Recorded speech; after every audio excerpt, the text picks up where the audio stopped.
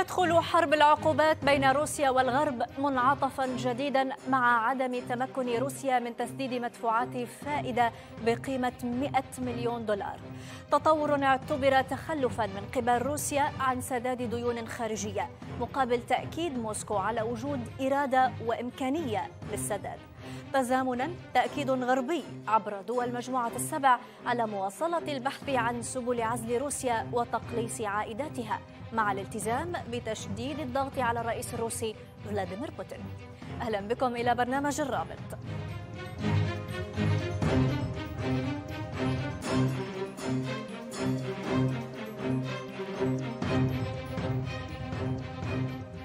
إذا روسيا لم تتمكن من سداد ديون خارجية والكرملين ينفي تهمة التخلف عن السداد وعليه نتساءل هل تمكن الغرب من عزل روسيا عن النظام المالي العالمي بفعل العقوبات وهل محاولات العزل هذه ستفشل مخططات روسيا الساعية لبناء تحالفات جديدة بوجه الغرب؟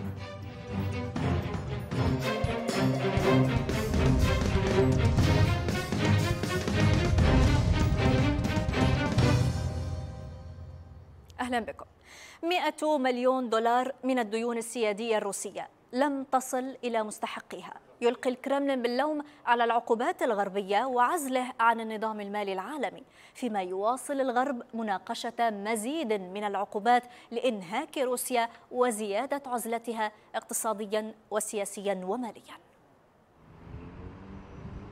يضيق طوق العقوبات الغربية على روسيا فتخلق صعوبات في إمكانية سداد مستحقات مترتبة عليها من ديون خارجية. صعوبات تمنعها من تسديد مدفوعات فائدة بنحو 100 مليون دولار. موقف اعتبر بمثابة تخلف من قبل موسكو عن سداد ديون لأول مرة منذ قرن.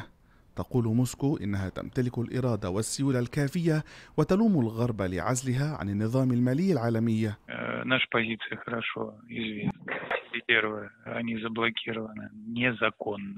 رغم الأضرار التي لحقت بالاقتصاد الروسي إلا أن ما اعتبر تخلفا عن السداد يعد رمزيا في الوقت الحالي حسب توصيف بلومبرغ حيث لا يمكن لروسيا الاقتراض دوليا في الوقت الراهن ولا تحتاج إلى ذلك بفضل عائدات النفط والغاز الكبيرة. لكن على المدى الطويل يعني التخلف عن السداد حرمان روسيا من أسواق المال الدولية وهو ما سيعزز الضغوط على الاقتصاد الروسي. موقف حاولت روسيا تجنبه على مدار أشهر فأوجدت مسارات للالتفاف حول العقوبات ومواصلة تسديد 40 مليار دولار من السندات المستحقة. طبق بوتين لوائح جديدة بشأن سندات العملات الأجنبية بمجرد تحويل المبلغ بالروبل إلى وكيل دفع محلي.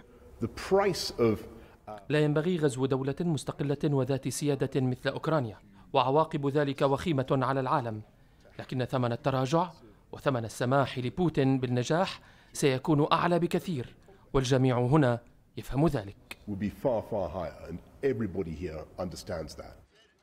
يريد الغرب إنهاك الآلة الحربية الروسية لتأمين حدودهم الشرقية وتحييد أكبر خصومهم فيتمعن في فرض عزلة سياسية واقتصادية عليها. فاتفقوا في اجتماع السبع الكبار على مواصلة تجديد الضغط الاقتصادي على موسكو وتقليص عائداتها واستنزاف احتياطاتها. فرضوا ست حزم من العقوبات ويحاولون تطويق مخططات روسيا الساعية لبناء تحالفات جديدة. تحالفات قال بوتين إنها البديل عن الغرب وأساس نظام عالمي جديد. قبل البدء بنقاش هذه الحلقة أذكركم إذا بسؤاليها هل تمكن الغرب من عزل روسيا عن النظام المالي العالمي بفعل العقوبات وهل محاولات العزل ستفشل مخططات روسيا الساعية لبناء تحالفات جديدة بوجه الغرب؟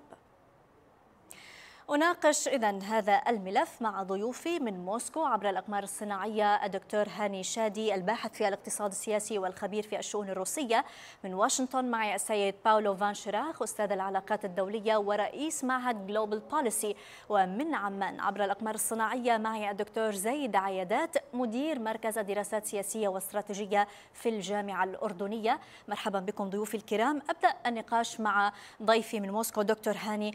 دكتور وزير المالية الروسي يقول أن موسكو اضطرت لعدم سداد مستحقات بقيمة 100 مليون دولار ويؤكد أن هذا ليس تخلفا عن السداد بأي حال من الأحوال كما يقول إذا ما الذي يحصل بالحقيقة وكيف اضطرت موسكو لعدم السداد؟ في الحقيقة أهلا بحضرتك وبضيوفك في البداية في الحقيقة أهلا. روسيا على لسان المتحدث الرسمي للكريملين ينفي أن تكون بلاده قد عجزت عن السداد. أما وزارة المالية فتقول كما أسلفت أنها لم تتمكن من السداد. الموضوع بس هو أن روسيا تريد أن تسدد هذه المستحقات أو المدفوعات بالروبل الروبل بالروبل الروسي. ولكن الروبل الروسي كما نعلم هو ليس عملة دولية في تسوية المدفوعات. لا أحد يعترف بها في النظام الدولي العالمي الموجود حاليا كعملة دولية لتسديد المدفوعات. المشكلة الأساسية أن هذه المستحقات هي مستحقة لمستثمرين أجانب سواء أفراد أو شركات خاصة أجنبية. ومن ثم وزارة المالية الروسية دعت هؤلاء المستثمرين إلى التعامل مع البنوك الغربية التي لا ترغب في الحصول على المستحقات بالروبل من روسيا. ومن ثم هناك مشكلة وعقدة كبيرة في هذا الموضوع ولكن هذا الموضوع يسمى في علم الاقتصاد ب الإفلاس التقني وليس الإفلاس الاقتصادي الكامل. بمعنى هو أن عندما تتخلف دولة عن سداد جزء من مستحقاتها في حين أنها قادرة على الدفع بالفعل ولكن لها شروط معينة انها أن تدفع بالعملة الوطنية وفي ظل وجود عقوبات عليها وفصلها عن نظام سويفت. ومن ثم يصطلح عليه بالعجز التقني أو الإفلاس التقني ولكن روسيا لا تعترف بهذا الموضوع. ومن ثم هذه مشكلة كبيرة سوف تجا سوف تواجه روسيا أيضا في الشهور القادمة لوجود مستحقات جديدة خلال الأشهر القادمة لمستثمرين أجانب عن ال Eurobond وأي السندات الروسية باليورو وبالدولار. أتى بالسؤال السيد باولو ضيفي من واشنطن. مرحبا بك من جديد. سيد باولو إذا موسكو تقول إن لديها الإرادة ولديها الوسائل ولديها الموارد لسداد ديونها ولكن بالروبل وهو يعني ما هو غير معترف به بما أنه السندات هي أجنبية ضف إليه العقوبات الغربية ويصف العجز بالعجز التقني. كيف برأيك العقوبات الغربية وضعت موسكو في هذا المأزق؟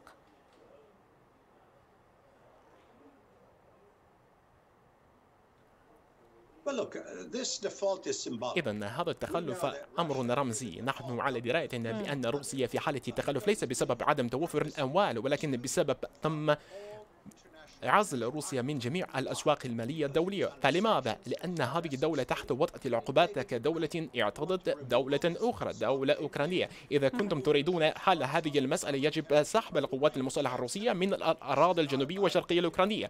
فلا يتعلق ذلك بكون روسيا بشكل مفاجئ.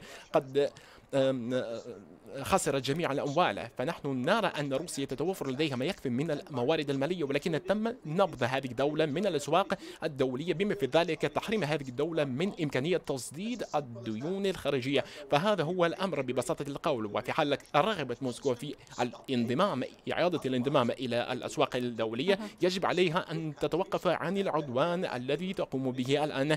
ف بالطبع بإمكان روسيا أن تمارس السياسات والتعاون الاقتصادي مع الدول الأخرى مثل الصين وكوبا وفنزويلا وإيران ولكن في ليس مع أغلب الدول في في الاقتصاد العالمي فهذا مثال فقط.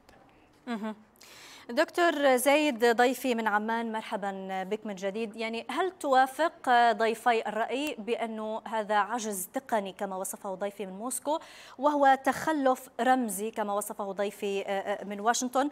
بما أنه طبعا يعني موسكو تملك القرار وتملك المال أيضا لكنها لم تتمكن من تسديد هذه الديون. آه نعم سيدتي شكرا. طبعا أتفق من حيث نبدا يعني بتوصيف م. الحالة ودعينا نصفها كما هي. آه ما هو موجود اليوم أن على روسيا أن تقوم بسداد الديون لكنها لن تتمكن. الآن لن تتمكن بسبب عدم توفر المال أو بسبب عدم قدرتها على استخدام الأموال. لا يفرق. الحقيقة أن دلالة العجز مع توفر المال هو الأكثر أهمية. ليس المقصود أن نقول أن روسيا قد أفلست ولكن المقصود في هذه الإشارات وهذا العجز عن الوفاء بالسداد الديوني في موعدها هو التأكيد على أن روسيا تم يتم عزلها شيئا فشيئا عن النظام العالمي. يعني ما هو أكثر عزلا من أن يكون لديك المال ويكون لك الإرادة لكنك لا تستطيع أن تقوم بذلك. هذا هو الحقيقة الدلالة الأساسية ولذلك اليوم الحديث عن عن هذا العجز آه له أهمية آه كبيرة جدا آه على على في في يعني تطور ومستقبل الحرب الروسية في أوكرانيا وأيضا هذا الصراع الدولي آه الذي نشهده. ودعيني أيضا أذكرك وأذكر المشاهدين أن أن الاستراتيجية الغربية الناتو تحديدا في تعامله مع مع روسيا في هذه الحرب يعني كان قد صاغ وصمم جملة من العقوبات الاقتصادية التي من شأنها أن تهوي بالاقتصاد الروسي وأن تبعده عن مسارات الحداثة التي يعيشها اليوم أو كان يعيشها في الفترات السابقة. وبالرغم من كل الإجراءات أظن كان هنالك أكثر من من وجبة من هذه العقوبات التي تم فرضها على روسيا لكن كان هنالك مجموعة من الفلوز الخلل في هذه العقوبات. منها مثلا أنه كان يسمح للدائنين الأمريكيين بأنه يتعاملوا مع الشركات الأمريكية حتى شهر أيار الماضي يعني 27 5 الماضي. ولكن بعد أن أعلنت المتحدة الأمريكية أن هذا ممنوع لا يسمح للأمريكيين لأي شخص أمريكي أن يتعامل مع أي من جهات الاستثمار الروسية ولا أن يتسلم منهم دفعات بأي نعم. صورة من الصور ومع التشدد الأوروبي في هذا الأمر وقطع أهم البنوك الروسية عن نظام السويفت العالمي اليوم نشهد إحدى الدلائل الأساسية على مسار عزل روسيا عن الاقتصاد العالمي وسيكون له تأثيرات سلبية نعم. جدا على الأوضاع النفسية والاقتصادية سنتحدث عن هذه التداعيات بالتفصيل معك بعد قليل ونتحدث أيضا عن خيارات المستثمرين بالتحديد.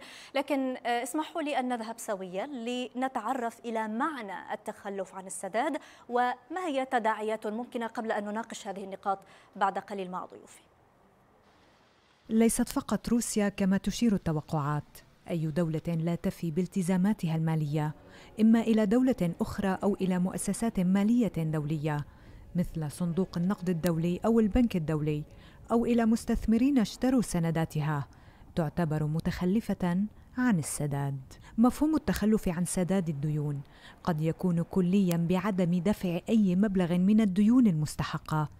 وقد يكون جزئيا في حالة عدم تسديد جزء من الدين ويمكن لحكومة ما إعلان تخلفها عن السداد بالتصريح بأنها لن تسدد دينها على غرار ما فعلت سريلانكا في شهر أبريل 2022 وكما فعلت روسيا عام 1998 بخصوص دينها الداخلي.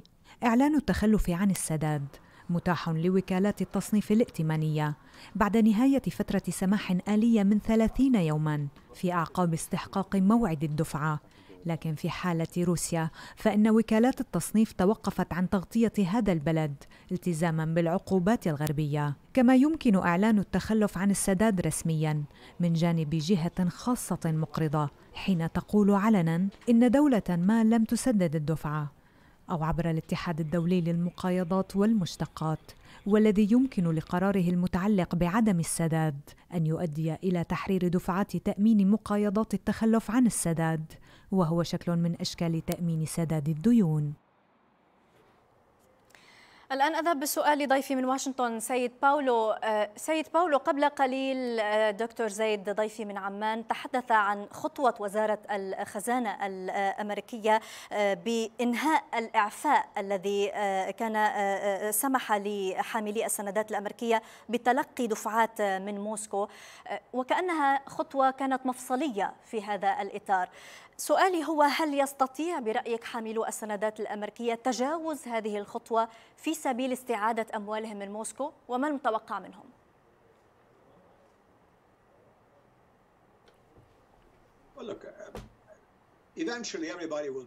في يوم من الأيام الجميع سوف يحصلون على الديون فإن المصارف الغربية والولايات المتحدة والمؤسسات المالية تحصل على تمتلك الكثير من الأصول الروسية والتي تم وضعها قبيل الحرب في أوكرانيا فهذه الأموال هناك قائمة. فليس هناك الكثير من المخاطر بشأن كون المستثمرين والحاملين للديون الروسية سوف يخسرون كل الأموال فإن المدفوعات سوف تجري ولكن الهدف مختلف فإن الهدف يتمثل في عزل روسيا الاتحادية بسبب التصرفات غير صائبة فإن هذه السياسات ناجحة كما نرى فهذا التخلف التقني رمز من رموز هذه السياسات. بما في ذلك إلغاء مشاركة روسيا في نظام سويفت للمعاملات المصرفية فيجب أن يشجع ذلك ولكن يجب أن يقنع هذا الإجراء جميع المستثمرين دوليا بعدم التعامل مع السلطات المالية أو الشركات في روسيا بسبب ضرورة معاقبة الدولة الروسية مقابل ما تقوم بها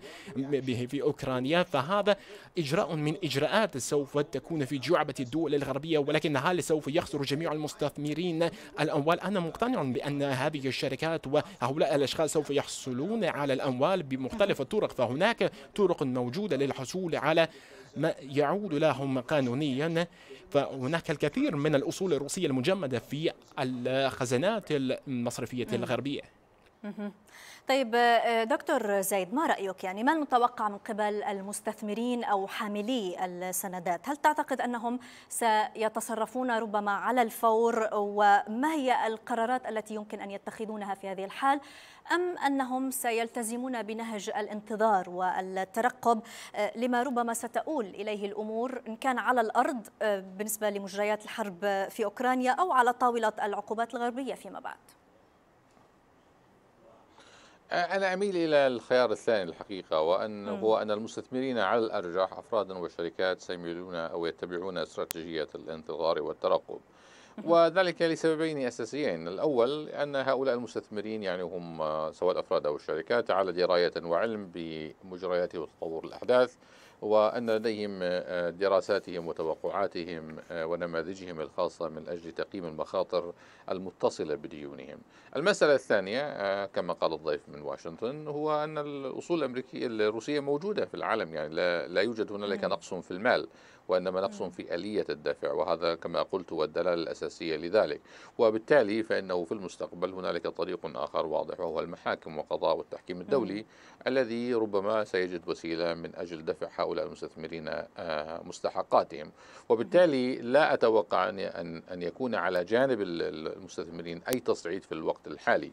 ولكن مرة أخرى الإشارة الأساسية هي أن المستثمرين اليوم والمستثمرين في المستقبل سيترددون كثيرا الآن في التعامل مع آه، الاقتصاد الروسي والاستثمار به لأن من شأن ذلك أن يحقق لهم خسائر آنية وهم بغنى عنها من الممكن وضع أموالهم في أماكن أخرى نعم. من أجل آه، آه، تحقيق أرباحهم. وهذا هو أيضا مقصود بالعقوبات. طيب سأسألك بعد قليل عن خيار المحاكم. نتوقف عنده بالتفصيل ولكن أذهب بسؤال للدكتور هاني ضيفي من موسكو. ما هي خيارات موسكو الآن؟ يعني بوتين كان طبق لوائح تنص على الوفاء بالتزامات روسيا من سندات العملات الأجنبية بمجرد تحويل المبلغ بالروبل يعني إلى وكيل آه، الدفع المحلي لكن كما ذكرت قبل قليل هذه السندات لا تحتوي على شروط تسمح بالتسوية بالعملة المحلية وما تعليقك على ما جاء آه، آه، بإجابة ضيفي الدكتور زيد أنه ربما الخسارة الأبعد مدى لموسكو هي خسارة ثقة المستثمرين. بالطبع أتفق مع الدكتور زايد. المشكلة آه، الأساسية نحن بدأنا في خسارة ثقة المستثمرين آه، الأجانب في الاقتصاد الروسي. ولكن أود الإشارة إلى نقطة هامة أن هذه السندات تم شراؤها آه، قبل الحرب وقبل عدة سنوات في الحقيقة.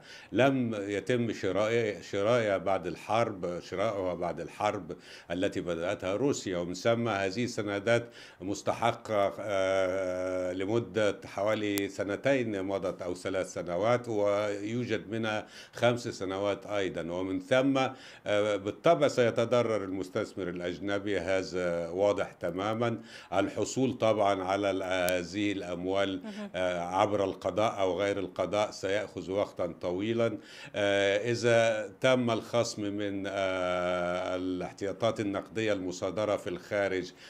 فهذا سترحب به روسيا في الحقيقة. لن لن لن لن تمتعض من هذا لأنها تشتكي دائما أن الغرب بين قوسين سرق هذه الاحتياطات النقدية. أي لم يصادرها ولكن سرقها عمليا. ولكن في الحقيقة ال ال الهدف الأعمق من ذلك هو بداية تنشيط وبداية فعل العقوبات الغربية بشكل قوي في الحقيقة من وجهة نظري طيب لأن المسؤولين الروس كانوا دائما منذ فرض هذه العقوبات الرئيس الروسي وقع مرسوما قبل ثلاثة أسابيع بالسداد بالعملة الروسية بالروبل. الروبل طيب، روسيا. مصرة على ما يبدو نعم بالروبل يريد دفع ذلك وهذا لن يحدث لأن الروبل ليست عملة دولية في ال... بالنسبة لتسوية المدفوعات الدولية. يريد أن يفعل نفس الشيء الذي فعله مع بيع الغاز الروسي للدول الأوروبية. وبعض الدول الأوروبية استجابت ودفعت عبر حسابات بالروبل واستلمت روسيا مثل هذه المبالغ. طيب. ولكن كما أشرت كيف وأشار سينعكس ضيفك ذلك ربما على بداية التأثير. القوي على الاقتصاد الروسي. واضح. نعم. ربما نرى كيف ينعكس على القرار السياسي. ربما المخرج يكون سياسي وليس اقتصادي. مشاهدينا حلقة رابط مستمرة أرجو التفضل بالبقاء معنا. فاصل قصير ونعود.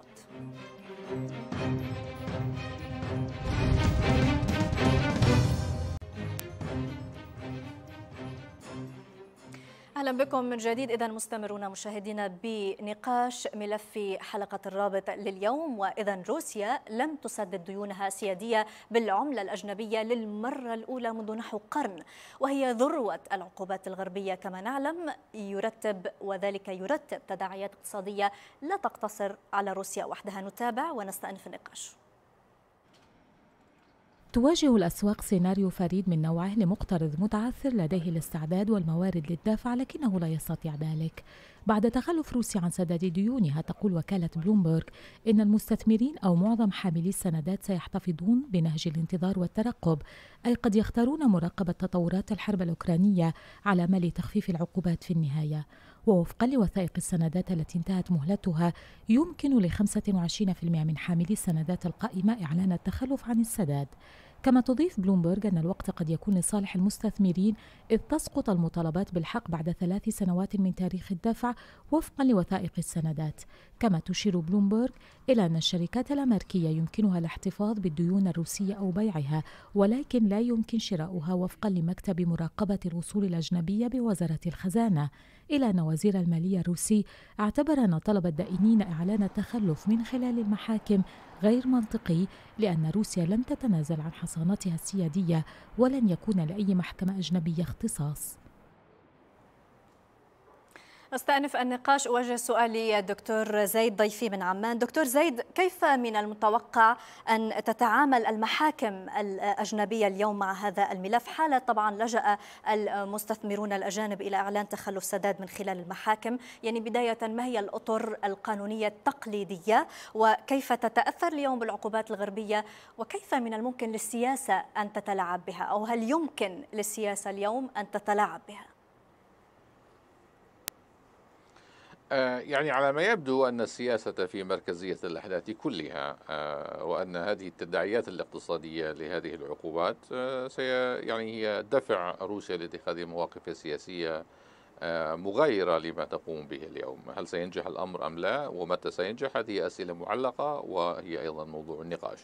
لكن في صلب موضوع سؤالك سيدتي من حيث المبدأ هو شراء السندات نفسه يتم ضمن أطر قانونية محددة تضمن وثائق الشراء آليات التقاضي والتحاكم وحل الخلافات والنزاعات في حالة نشوئها.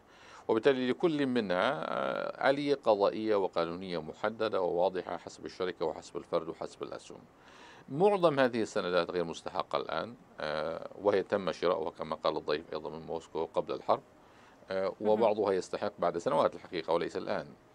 آه، وبالتالي فإن الطريق الأقل احتمالا هو أن تلجأ أن يلجأ هؤلاء المستثمرون إلى المحاكم وإلى الإجراءات التقاضي المنصوص عليها والمتفق عليها في وثائق الشراء. لكن دعيني هنا أيضا أن أنبه إلى مسألة. في حالة على فرض أن أن أن هنالك تحكيم أو محاكم وأن القرار بأنه استخدام أو تسهيل آه، أو الفائض المجمد المال المجمد الروسي في العواصم الغربية. آه، هذا لن يشكل أي خسارة لروسيا على العكس تماما. وبالتالي بحسابات روسيا أن واحدة من الإجراءات التي قد يلجأ إليها المستثمرون هي المحاكم حسابات روسيا أن هذا لن يشكل خسارة. لسببين أولا آه، وقت طويل وبالتالي لن يكون له تأثير مباشر على مجرى الحرب والسياسة اليوم. اثنين إذا تم الخصم من المجمد فهو خسارة خسارة فلا تعتبر خسارة. لذلك فعلى الأرجح أن المستثمرين سيلجؤون إلى الانتظار والترقب لأنه نعم. سيكون كما ذكرنا قبل قليل. من الذهاب إلى المحاكم والتقاضي نعم نعم سيدتي نعم. دكتور هاني أفهم منك أيضا. يعني يقول دكتور زايد أنه اللجوء إلى المحاكم يعني بمعنى أنه لن يكون خسارة لروسيا. روسيا إذا يعني آه، آه، آه، لجأ المستثمرون إلى هذا الخيار كيف ستتعامل معه وأقف هنا عند تصريح لوزير المالية الروسي يقول إن المطالبة بالأصول الدبلوماسية يعادل قطع العلاقات الدبلوماسية والدخول في صراع مباشر كيف نفهم ذلك؟ نفهم ذلك في إطار ما يلي بالطبع روسيا إذا المستثمرين الأجانب حصلوا على قرارات من المحاكم بالخصم من الأموال المجمدة في الخارج الأموال الروسية المجمدة في الخارج. فهذا لن يضيرها كثيرا في الحقيقة. ولكن هناك مخاوف روسية أن تتراكم عملية عدم السداد خلال الأشهر القادمة وتصدر المحاكم قرارات ب آه، الحجز أو مصادرة أصول روسية موجودة في الخارج. أصول عقارية مثل مباني السفارات مباني آه، البنوك الروسية لها فروع في أكثر من مكان في أوروبا حتى في الولايات المتحدة فهناك أصول أخرى غير الأموال المجمدة لدى الولايات المتحدة والدول الأوروبية أصول مادية. أود الإشارة أيضا إلى مشكلة كبيرة أيضا يعاني منها الكثير من المواطنين الروس والشركات الخاصة الروسية. هؤلاء المواطنون والشركات اشترت أيضا سندات وأسهم آه، وأوراق مالية آه، لشركات كبرى في الغرب في أوروبا والولايات المتحدة. وعندما فرضت العقوبات روسيا جمدت كل التعامل في هذا الأمر وهؤلاء المستثمرون الروس لا يعرفون أين ذهبت أموالهم ولا يعرفون متى سيحصلون على العائد منها أو متى سيستردونها. البنوك هنا لا تعطي أي معلومات للعملاء تماما ربما بعكس البنوك في أوروبا. القضاء هنا طبعا آه، إذا لجأ إليه أحد لن لن ينصفه تماما لأن هذه الأموال غير معروف وجودها حاليا. آه، البنوك الروسية تكتفي فقط بالقول أن عليكم اللجوء إلى آه، بنوك البنوك الأمريكية التي أصدرت هذه السندات عبر المراسلة معها ونحن لا نعرف عن هذا الأمر أي شيء سيد باولو أموال كثيرة راحت في نعم. الحقيقة نعم. وخسرها نعم وصلت الفكرة. سيد باولو قبل قليل دكتور زايد قال أن آه، عدم تمكن روسيا من سداد ديونها اليوم بغض النظر طبعا عن الأسباب والخلفية ولكن هو تأكيد على أنه يتم عزل آه، موسكو اليوم عن النظام المالي العالمي. آه، طبعا نسأل اليوم برأي من وجهة نظر واشنطن من وجهة نظر الغرب هل يمكننا القول أن العقوبات الغربية بدأت تنجح وبدأت تتجه في الاتجاه الصحيح لعزل روسيا تماما عن النظام العالمي المالي. وبرأيك أيضا العقوبات الجديدة التي آه، تم الإعلان عنها في قمة مجموعة السبع ما المتوقع منها؟ تأثيرات؟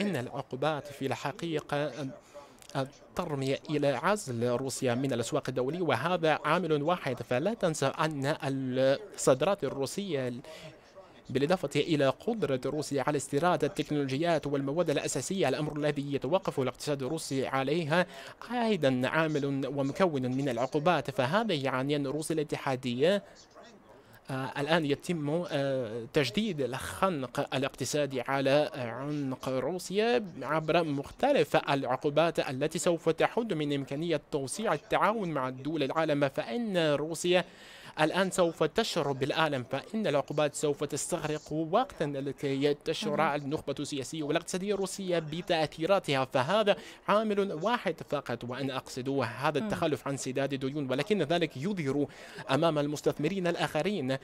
الذين قد ينظرون إلى إمكانية تطوير العلاقات المالية مع المؤسسات الروسية لا يجب أن يفعلوا ذلك في هذه المرحلة في هذه اللحظة. أما الطاقة النووية الروسية ومختلف القطاعات الاقتصادية الأخرى هناك شركات روسية ترغب في اغتنام الصفقات في الدول الأوروبية. جميع هذه المشاريع ملغاة اليوم بما في ذلك المشروع في فنلندا وفي المجر.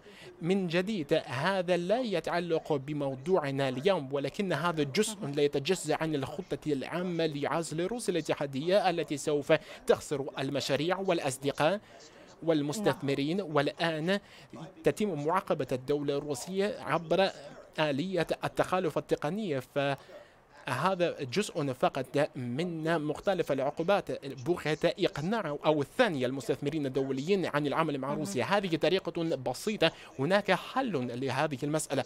أقف الحرب في أوكرانيا فلهذا السبب تم فرض هذه العقوبات. هذا ليس نزوة من طرف الدول الغربية. سنناقش إذا ما كان تأثير العقوبات سيصل لحد وقف الحرب على الأرض في أوكرانيا بعد قليل سيد باولو. ربما سؤال أخير بقي لدي أقل من دقيقتين لدكتور زيد دكتور زيد قبل قليل بالتقرير قلنا أن يعني تداعيات هذا الأمر ليس على روسيا فقط إنما على العالم. برأيك هذه الخطوة اليوم أو هذه التطورات ما هي أو ما هو ارتدادها على الاقتصاد العالمي؟ نعم ستي آه، باختصار شديد آه، اولا آه، أنا لا شك لدي أن العقوبات الاقتصادية الغربية المفروضة على روسيا فعالة وستنجح لكن. هذا النجاح مشروط ومشروط بمسألتين أساسيتين اللي الآن نعود إلى سياسة عض الأصابع وأي منهما أصبر. لكل من هو آه، دخله ومصادره وآلياته من أجل التعامل مع آه، التداعيات والتفاعلات. باختصار روسيا اقتصاد ضعيف صغير. هي تشكل اقتصاد إيطاليا وبالتالي هي ليس لاعبا أساسيا في الاقتصاد الدولي لكن لديها موارد مهمة. هي الطاقة والمعادن الطاقة نعم. متمثلة بمسألة النفط والغاز والمسألة الثانية المعادن التي يحتاجها العالم. الثالثة طبعا هي الآن سيطرتها ووصولها إلى الحبوب الأوكرانية ومنعها من التصدير وبالتالي تؤثر على الاقتصاد العالمي على الغذاء. إذا هي تؤثر بمسألتين أساسيتين أنها تجعل الخسارة على كاهل الآخرين بأن بارتفاع أسعار الغذاء وارتفاع أسعار الطاقة في الدول الديمقراطية والدول الغربية هذا من شأنه أن يغضب الناخب وبالتالي قد يؤثر على سياساته. لكن أيضا هنالك تفهم بأن هذا الثمن الاقتصادي الذي تدفعه الشعوب الغربية والديمقراطية هو ثمن قليل مقابل الثمن السياسي الباهظ التي من الممكن أن يدفعه الغرب جميعا إذا ما سقطت أوكرانيا وتمددت روسيا وأصبح تأثيرها وتهديداتها الأمنية على كامل أوروبا وحضارتها.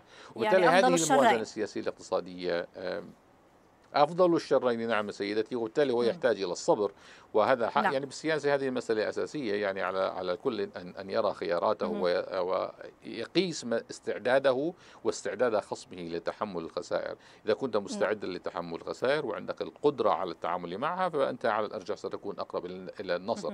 لأن روسيا بالضرورة هي أقدر على الصبر بسبب من طبيعة النظام وليس من طبيعة المسألة. لكن إلى أي حدا يستطيع هذا النظام أن أن أن أن يستثمر في قمع المعارضة وقمع يعني وتحمل هذه الخسائر الاقتصادية طبعا نعم. الخسائر العسكرية وأيضا نعم. عدم القدرة على الحسم العسكري فبالتالي أنا بعتقد أنها فعالة هذا موضوع ونجم. آه، آخر يستحق الاستفاضة به ولكن يجب أن نذهب لفاصل قصير ضيوفي الكرام أيضا مشاهدينا الكرام ابقوا معنا فاصل قصير ونعود لنستأنف النقاش بموضوع هذه الحلقة ابقوا معنا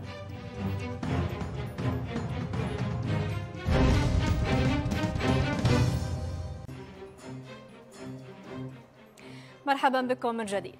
دعا الرئيس الأوكراني فولوديمير زيلينسكي قادة الدول السبع إلى تشديد العقوبات على موسكو وحض في كلمته خلال اجتماعات قمة مجموعة السبع القادة على بذل أقصى الجهود لإنهاء الحرب في بلاده قبل نهاية العام.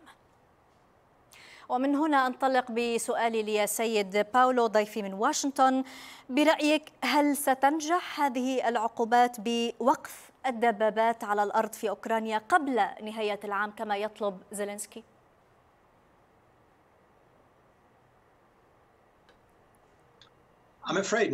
أنا خايف من أن هذا ليس صحيحا فبما أنني أعتقد أن العقوبات فعالة ولكن روسيا لديها الكثير من الموارد والاحتياطيات والقدرات على تمويل استمرار هذه الحرب فبسبب ارتفاع أسعار الغاز والنفط بسبب كون الاتحاد الأوروبي يحاول الحد من استيراد الطاقة الروسية بسبب كل ذلك نحن شاهدنا ازدياد ارتفاع الأسعار وبالرغم أنه تم تقصير تصدير النفط والغاز الروسيين إلى الاتحاد الأوروبي. هناك شركاء جدد وآخرون في الهند والصين فإن روسيا لا تزال تجني الكثير من الأموال. الأمر الذي يؤدي لاستغلال الفرصة الاستمرار في هذه الحرب.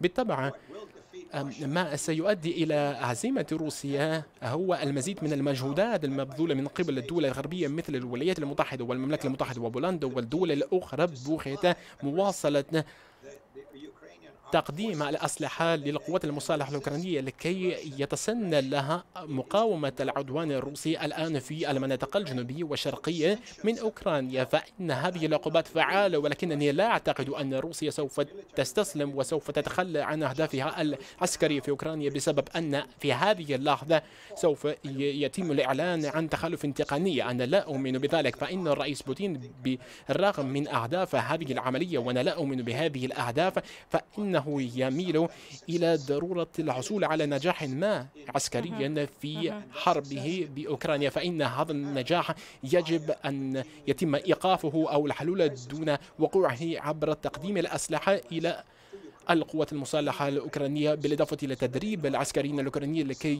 يقدروا على نعم. استخدام هذه المعدات مثل المدفعية طويلة المدى ورجمات الصواريخ. دكتور هاني ما رأيك يعني؟ هل توافق السيد باولو رأيه بأنه قد لا تؤدي هذه العقوبات إلى آه، آه، لجم موسكو عسكريا فهو لديه أهداف وهو لن يرضى إلا بتحقيق ولو نصر واحد على الأرض؟ أم أن استشعار موسكو اليوم بتضييق الخناق الاقتصادي عليها أكثر فأكثر ربما يدفعها إلى آه، تغيير نهجها على الأرض أولا أو ربما في السياسة لجهة المفاوضات ربما مع أوكرانيا أو لجهة تبديل أو تعديل لهجتها في وجه الغرب. أتفق في الحقيقة مع ضيفك من الولايات المتحدة آه، روسيا لن تردعها العقوبات والعقوبات الاقتصادية في الحقيقة آه، آه، لم نعرف أنها أوقفت حرب في يوم من الأيام. لنأخذ مثال كوريا الشمالية عليها عقوبات منذ سنوات ومع ذلك تجرب أسلحة نووية وأسلحة طويلة المدى وقصيرة المدى. ولكن تكثيف العقوبات مطلوب إذا كان هناك إمكانية للضغط من اتجاهات أخرى مثل الاتجاه السياسي والاتجاه العسكري. هذه نقطة مهمة أن تتواكب وتتضافر العقوبات مع الجهود السياسية والجهود العسكرية. ولكن أن يتوقف الرئيس الروسي عن الحرب في أوكرانيا بمجرد هذه العقوبات حتى وإذا اشتدت هذه العقوبات وأصبحت أكثر فاعلية فهذا مستبعد برأيي. كما أننا لا يجب أن ننسى أن روسيا تحصل من الاتحاد الأوروبي على أموال كبيرة بالدولار واليورو نتيجة لتصدير النفط والغاز حتى اليوم. اليوم آه، نحن نعلم أن هناك قرارا بوقف آه، آه، شراء النفط عبر جزئية. البحر من صحيح. روسيا في آه جزئيا ولكن هو الأكبر هو كبير في الحقيقة. إذا تم بالفعل تنفيذ هذا القرار فهذا سوف يؤثر بدون شك على الموارد الروسية خاصة أن عائدات روسيا من آه، آه، تصدير النفط أكبر بأربع مرات من عائداتها من تصدير الغاز. ومن ثم آه، سيكون العقوبات على شراء النفط الروسي أمر مهم. صحيح روسيا بدأت تصدر إلى الصين والهند ولكن تصدر ب بخصومات كبيرة تصل إلى 30% وهذا سيمثل بالطبع خسارة في آه، الإيرادات الإيرادات الميزانية الروسية. ولكن الأمر الأساسي برأيي هو أن تكون العقوبات فاعلة مع تضافرها مع الجانب السياسي مع الجانب العسكري. ولكن آه، لا لا أعتقد أن هناك إمكانية لمفاوضات سياسية ناجحة في المستقبل القريب لأن روسيا لديها شروط معروفة لأوكرانيا حتى تتفق معها وتوقع معاهدة سلام والشروط نعم. هي عاملين هو أن تتنازل أوكرانيا نعم. عن آه، أجزاء من أراضيها آه، لروسيا أوكرانيا وهو ما لن يقبل به زيلينسكي ومن نعم ثم حتى يبدو توقعاتي ذلك مهم. نعم اسمح لي. أتوقع أن تستمر هذه الحرب حتى ربما نهاية هذا العام أو مطلع العام القادم وستوقف الأمر على مدى درجة آه، مساعدة الدول الغربية لكييف لمواجهة هذه الحرب. نقطة مهمة. دكتور زيد قبل قليل تحدثنا عن تأثير العقوبات الغربية المتزايدة وصولا إلى هذه التطورات يعني آه، عدم قدرة أو إمكانية آه، روسيا على سداد آه، ديونها. تأثيرها على العالم بشكل عام. آه، لكن اليوم ما تأثيرها المباشر على آه، حلفاء آه، روسيا الأسواق البديلة التي اليوم تلجأ إليها روسيا. يعني كيف تؤثر هذه التطورات على التحالفات التي بنتها موسكو حتى الآن والتحالفات التي تبغى أو تسعى إلى بنائها في المستقبل؟ أم ربما هذه أو هؤلاء الحلفاء يفهمون اللعبة؟ بظني أن الحلفاء آه، يبتزون روسيا في هذه المرحلة. حلفاء روسيا حلفاء آه، مصلحة وظرف آني. ويأخذون كل الأدفانتج المحتملة والممكنة من هذا الضعف والحاجة الروسية لبناء تحالفات وأسواق جديدة. سواء كان ذلك بأسعار النفط التي تباع كما أشار الأستاذ من موسكو آه، إلى الصين والهند أو بالموارد الأخرى التي آه، والتداخلات الاقتصادية الأخرى. بس دعيني أنا يعني بهذا السياق أيضا أعرج على قضية آه، إلى أي حد ممكن للعقوبات أن أن آه، آه، تضع حدا لهذه الحرب. آه، ال- العقوبات بحد ذاتها لن تفعل لأن المقصود بالعقوبات هو I can hurt you. ب- بإمكاني أن أسبب لك الأذى والخسارة. لكن. بالمقابل آه، أنا I can أنا أيضا أستطيع أن أسبب لك الخسارة. لأن قدرتي على تحمل الأذى وقدرتك على تحمل الأذى هي المسألة الأساسية. كيف تحسب هذه؟ لأن منطق صياغة العقوبات الاقتصادية هو منطق يندرج ضمن منطق إعادة إنتاج التحالفات الدولية. وبالتالي الرسالة الأساسية الموجهة لروسيا هو ليس فقط عزلها من الاقتصاد العالمي على أهميته وهو. أهمية مركزية لكن أن هنالك تحالفات عالمية تنشأ روسيا خارجها وأن الحلفاء المحتملين لروسيا حلفاء ليس بالضرورة بدلاء عن أوروبا أو عن الناتو أو عن الغرب في هذه الحالة. وبالتالي هذا من شأنه أن يؤكد على مسألة أساسية. أن خسارة روسيا المستقبلية وليست البعيدة يعني المستقبل القريب باستمرارها بهذه الحرب ستكون أكبر بكثير من الأرباح التي يمكن لها أن تحققها في حال استمرت في هذه الحرب. وهذا هو الذي يدفع بالمتخاصمين وإلى الجلوس إلى طاولة المفاوضات. إذا علينا أن نقرأ منطق الاقتصاد ومنطق التحالفات بالمنطق السياسي الجيوستراتيجي. سيدتي ما يحدث هو إعادة إنتاج عالم جديد وكتابة قواعد جديدة للنظام الدولي. تقوم أساسا على إعادة بناء التحالفات. في هذه الحالة روسيا هي الخاسر بالضرورة. يعني لا شك بذلك أن روسيا رغم أنها تجاهر بأنها لا آه، يستطيعون تبني تحالفات متماسكة وقوية وعبرت عن؟ ذلك في آه، قمة بريكس؟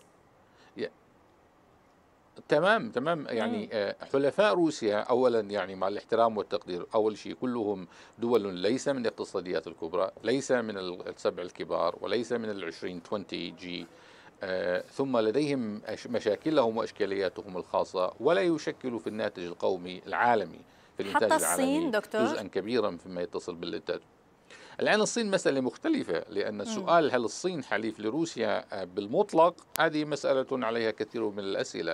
هل نعم. الصين آه، نعم. تستفيد من هذه اللحظة التاريخية في الصراع من أجل تعزيز نعم. مركزها التفاوضي مع الغرب؟ قطعا. دكتور زيد، وتستفيد وتستغل روسيا في هذا الحال؟ قطعا. نعم. آسفة لكن للأسف وقت الحلقة انتهى. شكرا لك على كل هذه التفاصيل. الدكتور زايد عيادات مدير مركز الدراسات السياسية والاستراتيجية في الجامعة الأردنية. شكرا. أشكر ضيفي من واشنطن سيد باولو فان شيراغ أستاذ العلاقات الدولية ورئيس معهد Global Policy وضيفي من موسكو الدكتور هاني شادي الباحث في الاقتصاد السياسي والخبير في الشؤون الروسية. شكرا لكم.